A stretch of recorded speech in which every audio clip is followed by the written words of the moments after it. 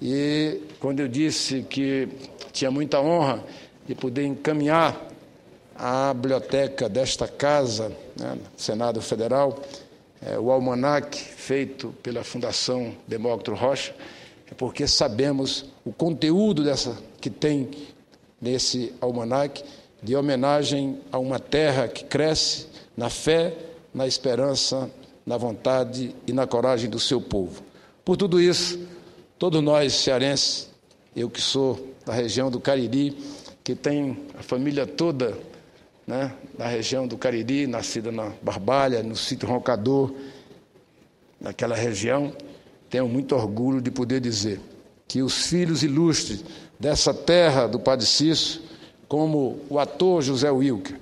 e o craque Ronaldo Angelim, que apesar de paulista, cresceu brincando nas ruas de Juazeiro do Norte, onde foi depois revelado pelo Icasa e que atualmente joga no Flamengo. Todos nós estamos de parabéns pelas, pelos 100 anos de Juazeiro do Norte. Todos nós que somos do Cariri, todos nós que somos do Ceará, todos nós que temos a obrigação de representar bem o nosso povo, o nosso Estado e buscar o desenvolvimento, o crescimento para todas as regiões do Estado, principalmente do Nordeste brasileiro, para minorarmos, para minorarmos o fosso que ainda existe, tanto na questão do ponto de vista de integração nacional,